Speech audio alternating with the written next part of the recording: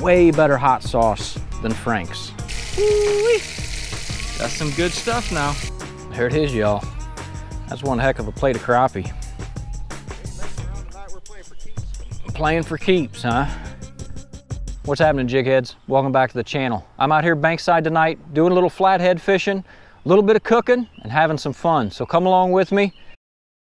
Location tonight, guys, a little bit overgrown. Had to clear me out a spot to land fish, but we got some good structure around. We got a lay down over here to our left. Got some fairly deep water out in the middle of this little cove that cuts back off the main lake. So I think we're in a pretty good spot to set up this evening for some flathead. I'm gonna be using the new Ancient Mariner 6000 series reel tonight. Got that spooled up with 65 pound high vis, no fade, reaction tackle braid. And I've got some new hooks tonight, guys. I'm kind of looking forward to using these. The Nocturnal Nasty. That's an 8-aught modified J hook and it's a lighter wire. We got a little bit smaller baits tonight, so a lighter wire hook's gonna keep our bait alive a little bit longer. And we got that teamed up with the new Nocturnal Nation Catfishing Demon Dragon. That's a uh, spawning chub color that actually glows, so really good, uh, really good little added addition to a rig, adds some rattle and uh, a little bit of action. The uh, the way I've got this rigged up is a little bit different than I've seen anybody doing it. Um, I don't like the extra connection points of knots. I think if you tied every connection point off, you'd end up with five connection points. Now, that's a lot of room for failure. So I ended up running this leader line through the nose and through the tail, and then all I did was use a bobber stop and a bead on both sides of it. I can't take the credit for that. I seen my buddy Brian doing it with a bluegill float rig that he was using. And I thought, well, why wouldn't it work for a Demon Dragon? So we're gonna try it out tonight. Got uh, 60 pound mono reaction tackle leader, four ounce coin sinker on a sinker slide. We're gonna be throwing some live bluegill out here at them tonight. Gonna wait around until it gets dark and uh, probably fry up a little bit of crappie here. I brought some crappie along and the two burner stove. Figured we'd have dinner lakeside and wait around on the fish. Yeah, there it is, y'all. Little camp stove action. Grease should be hot. We're gonna go ahead and get some of this crappie breaded up. I got this crappie actually marinated in some Cajun Chef. Y'all ain't never heard about that? Way better hot sauce than Frank's. And that's saying a lot because I know y'all like some Franks. I like some Franks. Cajun Chef, man, it's where it's at. We're gonna knock off a little bit of this marinade, get these breaded up. I got about 15 fillets in this bag. It's a good thing I got some buddies fishing with me tonight. I got my brother down here. I got old Bryce. If you guys are regular to the channel, you know Bryce. He's been out fishing with me on a couple of adventures. Good guy.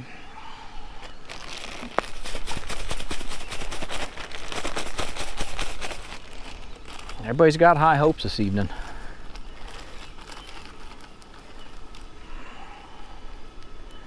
We'll do a little bitty piece.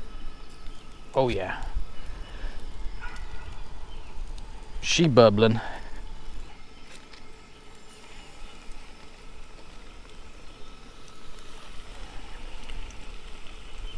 Well, five second rule.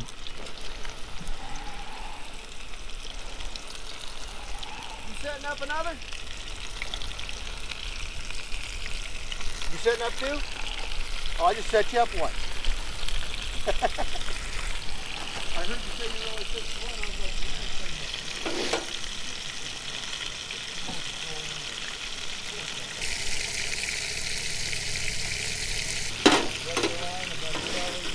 I was like, you only set Jake don't like trilene knots, but I do. Jake don't like trilene knots. There goes my mouthy brother. He knows everything about fishing. It'll catch a fish a pound plus.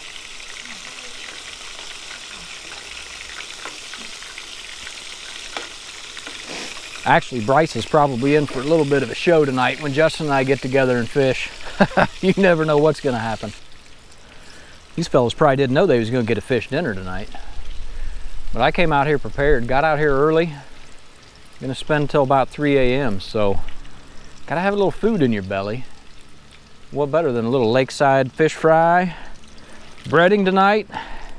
Andy's. Red. That's where it's at, man. Red is my favorite breading from Andy's. Got a little bit of bite to it, but not quite as much as the Cajun. So I figured with that uh, Cajun Chef marinade, probably ought to not use the Cajun breading. Might be a little too spicy. I don't know. I like spicy. Man, y'all, those are looking good.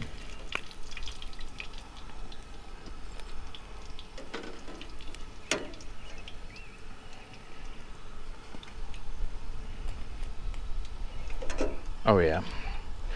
Check that out. I'm gonna get some more breaded up, fried.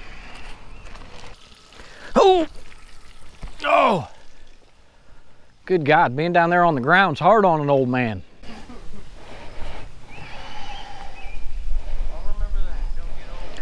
How clean's that water down there now? Is it too bad? It was freaking black as night earlier when I was down here messing in it.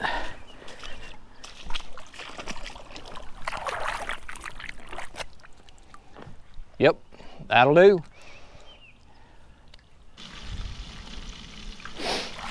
Ooh, that fish is smelling good, ain't it? Good lord, you didn't you didn't know you was gonna get a crappie dinner down here tonight, did you? Got to give a shout out to Mike Dorworth. He's a subscriber that actually set me up with this two burner camp stove. Mike, I appreciate it, buddy. Working out great tonight. I'm gonna have some crappie in my belly.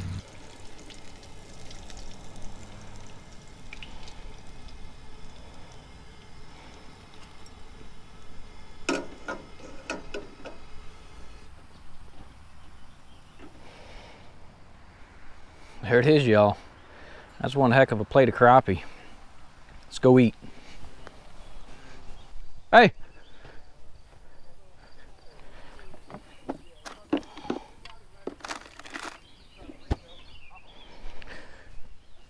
Dinner tonight consists of beer and fish. Get down here and see what the knucklehead thinks about it. We ain't messing around tonight. We're playing for keeps. Playing for keeps, huh? That whole plate for me? No, that whole plate ain't for you. How many do I get? you get like four pieces. What? Yeah. You were as stingy as you were when we were kids. No, I ain't stingy. Bryce has got to get a little too now. Get out of here. Golly. What do you think about that? Yeah? Marinated it in some uh, Cajun Chef. Different type of hot sauce. Better that way.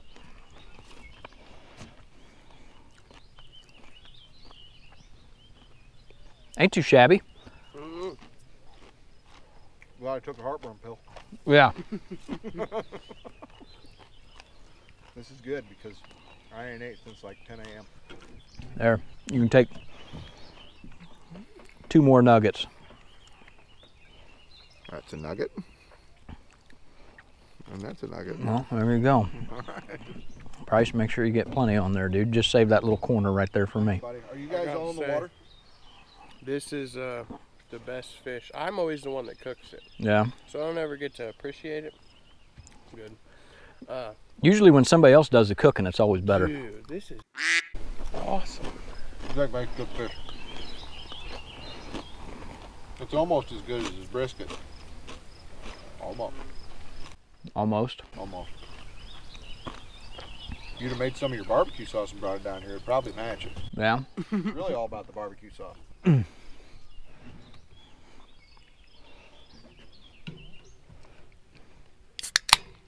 guys got four in? I don't. He's got one in. I don't have any in yet. Oh, okay. I'm gonna finish eating this fish and then go get lines in because it'll be right about the right time. I had just enough time to fry fish and drink a couple beers. Perfect. Catch bait. That little Not with the shake. freaking camp stove did great though. I was actually really surprised it came up to heat really quick and held heat good. Nothing like having a bonus snack when you come out to No. do a little flathead fishing. You will. If you will. All right, I'm gonna go down, finish this fish, and get lines in the water. All right, guys. Thanks, Jake. You're welcome, buddy. This is honestly probably the most fish I've ate one sitting, just because I cook it, so I eat the sides. What I always get in trouble with when I fry fish, eat a little bit here, eat another couple pieces here, eat another couple pieces here. So by the time I'm done frying all the fish, I'm so full on fish that I'm like you. All I do is go get a plate of sides and Yep. He's like, why aren't you eating fish? Do you not realize I just ate fish for the past 45 minutes, I cooking it all for you guys? Before you even knew That's right. Oh.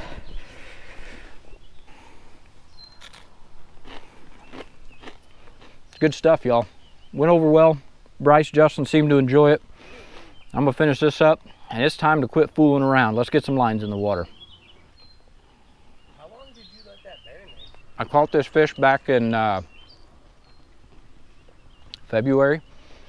I'd planned on doing a catch and cook, but I looked back at the footage of the day because I'd set out to do a slip float minnow video. Couldn't catch them on a slip float. So I scrapped it, but I put this fish in that marinade that night. The next morning I got up, checked the footage, and I'm like, no, I can't do anything with this. So I wrapped it up, put it in the freezer, and I just thawed it out last night. So technically it was marinated overnight and then frozen in the marinade. Well, I've never been able to taste the marinade that good, so I guess I need to do that because I would say if you let it sit overnight, you'd be good. Because I noticed the next morning when I put it in, the meat had already started to kind of, yeah, take on the color of the, the hot sauce. And Bomb. it was dang good though. Bomb. All right, jigheads, if you made it this far, well, then you must already know. Flathead, they eluded me this evening, but we had a good time. Got our bellies full. Hope you guys enjoyed today's episode. Check out Cajun Chef.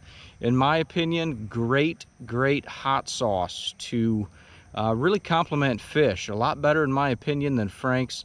I know a lot of you guys have seen people using Frank's. I've used Frank's a lot in the past. I, will still use Frank's. But Cajun Chef, whoo that's some good stuff now. Y'all check it out. Anyway, if you enjoyed today's episode, give it a thumbs up.